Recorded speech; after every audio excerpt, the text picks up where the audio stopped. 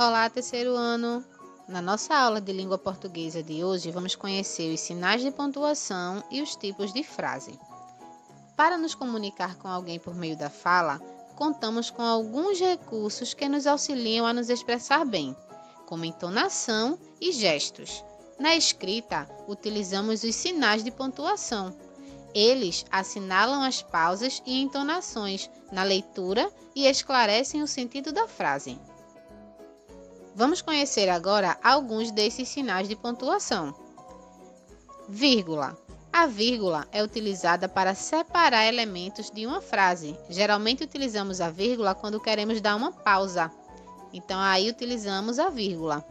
Ponto final.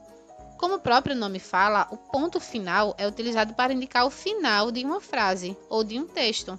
Geralmente, quando a gente conclui a nossa ideia, colocamos um ponto final. Dois pontos. Os dois pontos são utilizados para indicar a fala de alguém ou para apresentar uma enumeração. Aspas. As aspas são utilizadas para indicar uma fala em um diálogo e destacar palavra, expressão ou trecho de outro autor. Então, quando a gente vai citar alguém, quando a gente vai falar uma fala que não é nossa, geralmente nós utilizamos as aspas.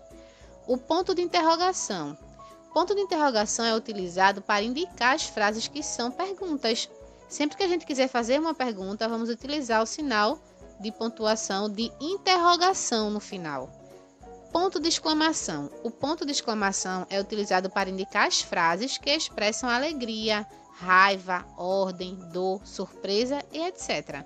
Sempre que a gente quer dar uma entonação maior àquela frase, nós colocamos o sinal de exclamação no final. Por último, temos o travessão, que é utilizado para indicar a fala de alguém, destacar palavras ou apresentar explicações.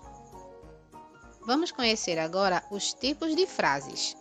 Frases são uma ou mais palavras que transmitem uma ideia com sentido completo.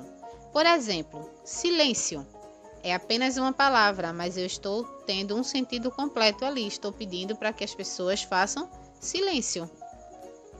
Eu amo você é uma frase já com três palavras que também tem sentido. As frases podem ser classificadas da seguinte maneira: declarativas afirmativas declaram alguma coisa afirmativamente. Por exemplo, Paulo é um garoto alto e forte. Eu estou afirmando. Geralmente, no final das frases declarativas afirmativas, teremos um ponto final. Declarativas negativas Sempre que vocês verem uma frase com a palavra não, geralmente é uma frase negativa. Declaram alguma coisa negativamente. Por exemplo, não gosto de vitamina de abacate. Percebam que tem a palavra não. Então, geralmente, quando tiver a palavra não, é uma frase negativa. Exclamativas indicam admiração, surpresa, alegria. Por exemplo, que bebê mais lindo!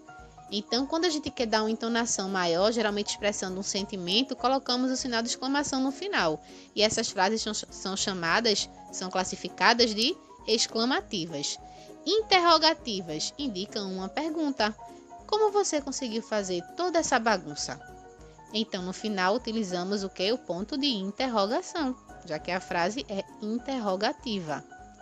Essa foi a nossa aula de hoje sobre os tipos de frases e os sinais de pontuação. Espero que vocês tenham compreendido. Um beijo e até a próxima aula.